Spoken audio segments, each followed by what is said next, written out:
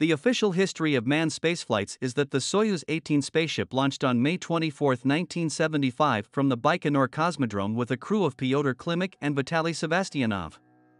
The ship successfully docked with Salyut 4 station, where the crew worked for two months. On July 26 of the same year, the astronauts returned to Earth. There is not a word of a lie in these words, but the truth is not all. The fact is that the ship of Klimuk and Sevastyanov for the initiates had a slightly different name, Soyuz 18B. About what happened to Soyuz 18A, or, otherwise, Soyuz 18 1, specialists of the space industry were not recommended to disseminate.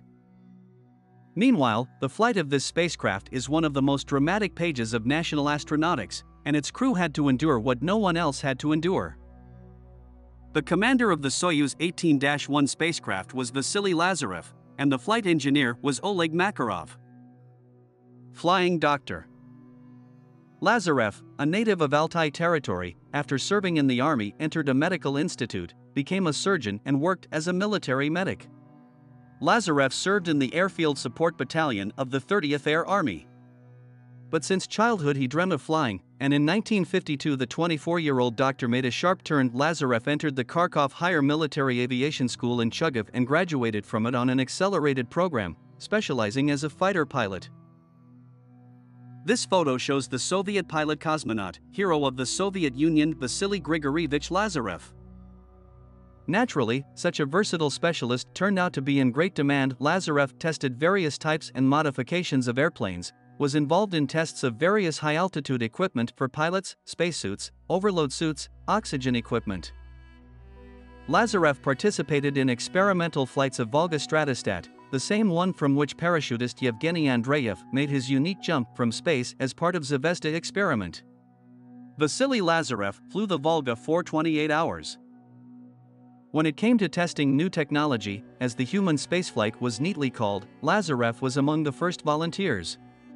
He underwent a medical examination along with Gagarin, Titov, and other members of the first squad, but received a refusal from the medics. However, Lazarev had a lot of persistence. In 1964, he was selected to prepare for a flight on board the Voskhod three man spacecraft. Lazarev was the second understudy for Dr. Boris Yegorov.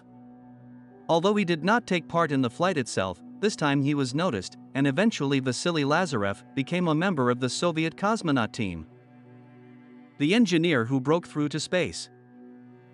Lazarev trained under several programs, including the manned Soviet lunar project. It was then that his crewmate was Oleg Makarov. Oleg Makarov, the USSR cosmonaut, twice hero of the Soviet Union. Oleg Makarov, a native of Tver region, before joining the ranks of cosmonauts, was building equipment for them. In 1957, he graduated from the Bauman Moscow State Technical University and came to work at OKB No. 1, the famous design bureau of Sergei Korolev. Makarov was involved in the development of the first Soviet manned spacecraft. Like many other young engineers of Korolev's design bureau, he wanted to go into space himself. In 1966, Makarov was enrolled in the Cosmonaut Corps and trained for several years on the lunar program. The engineer was among those who were to be among the first to go on a lunar expedition. However, defeat in the lunar race forced the Soviet Union to reconsider its priorities. Lazarev and Makarov, who made up an excellent crew, were transferred to the Salyut 2 station to prepare for the flight. The test crew. These preparations were carried out under difficult conditions the Soviet manned program was interrupted after the death of the crew of Soyuz 11 because of depressurization during return to Earth. The Salyut 2 station, where Lazarev and Makarov were to fly, malfunctioned, and the flight program was revised again. A series of failures undermined the confidence of Soviet specialists. The new Soyuz 12 was tested many times, and new spacesuits were developed for the crew, designed to prevent a repeat of the Soyuz 11 tragedy. Nevertheless, no matter how hard we try, no matter how hard we try to rule out surprises, it is impossible to account for everything on Earth. The crew of Soyuz 12 was, in a sense, to do again what Gagarin did to open the way for others into space. Vasily Lazarev and Oleg Makarov were charged with this mission. Cosmonauts Vasily Lazarev, left, and Oleg Makarov, right, after training on a training ship. On September 27, 1973, Soyuz 12 with Lazarev and Makarov was successfully launched from Baikonur Cosmodrome. The flight lasted one day, 23 hours 15 minutes and 32 seconds, and ended successfully. Designers breathed out, the manned program was saved. Lazarev and Makarov became heroes of the Soviet Union, and then began preparing for another spaceflight, this time to the Salyut 4 orbital station. Emergency in January 1975 Lazarev and Makarov were understudies of the Soyuz 17 crew Alexei Gubarev and Georgy Grechko. According to established tradition, the understudies went into space next. The start of Soyuz 18 was scheduled for April 5, 1975. In contrast to the flight on Soyuz 12, this launch did not seem extraordinary to specialists. In fact, the same Gubarev and Grechko reached the station safely, fully worked off the flight program, and returned successfully the Soyuz 18 man spacecraft before the launch at the Baikonur Cosmodrome in Kazakhstan. On April 5, everything also started well.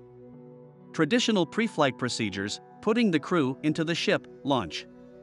Rocket, as it should be, at 11.04 am Soyuz 18 takes to the sky. Everything went smoothly, the first stage separated on schedule, then the payload fairing was jettisoned in the plan mode.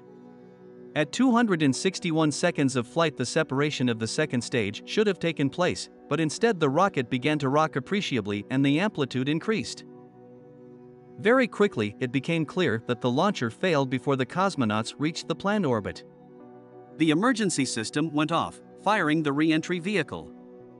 26G It happened at an altitude of just under 200 kilometers, that is, de facto already in space. At the same time, the emergency descent took place in uncontrolled mode. To put it simply, the descent vehicle of Soyuz 18 was falling out of space. This happened on April 5, 1975. After launch, the first two stages of the rocket worked properly, but the engines of the third stage, which was supposed to provide the third space speed about 8 km per second, did not start. Then, for the first time in the history of astronautics, the system of emergency rescue of the crew worked. The payload fairing was dropped, the spacecraft compartments were separated, and the descent vehicle began its emergency descent to Earth from a height of about 170 kilometers, Oksonov wrote.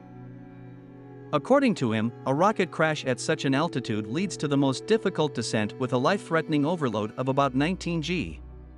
This means that the body weight of the astronaut increases 19 times. Such values of overload are caused by the fact that the spacecraft, having gained only half of its target speed, begins a sudden descent down a very steep ballistic trajectory, literally burrowing into the atmosphere. To reduce this critical overload, the designers provided a special mode called CMAX, in which the orientation engines of the descent vehicle had to keep it in the most favorable ballistic position and reduce the overload by about 2 g, i.e. from 19 times to 17 times. But, as it happens in real conditions, the automation worked in exactly the opposite mode, instead of reducing the overload it increased by 2g, and the astronauts got a 21.3g overload during descent. This is the peak value, which probably helped the crew to survive in these incredible conditions, states Oksonov. For example, during the cosmonaut squad selection process, a maximum 20 second overload of 10g is allowed during rotation on the centrifuge. Lazarev and Makarov had a brief cardiac arrest and brief loss of vision. That was the first part of the story of how the Soviet cosmonauts survived the fall from space.